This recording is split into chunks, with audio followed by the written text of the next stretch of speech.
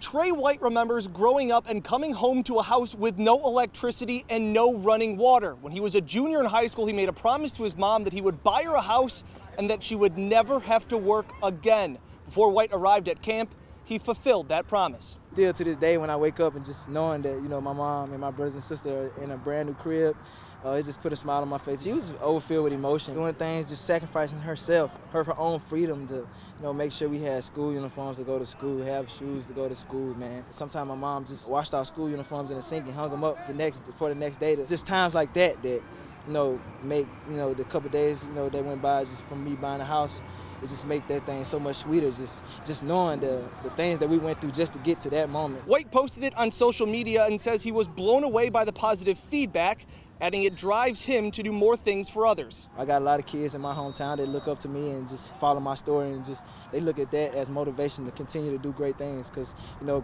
coming from where I come from it's not much that you know positive going on. So you just got to find a little light. So I just try to be that that motivating factor to those kids back home to try to you know do the right thing and just try to stir a lot of kids the right way. When White ranks his accomplishments, he says no matter how many interceptions I get or how many games I win, buying my mom a house will always be atop that list. With the Bills report at St. John Fisher College, I'm Dan Fades.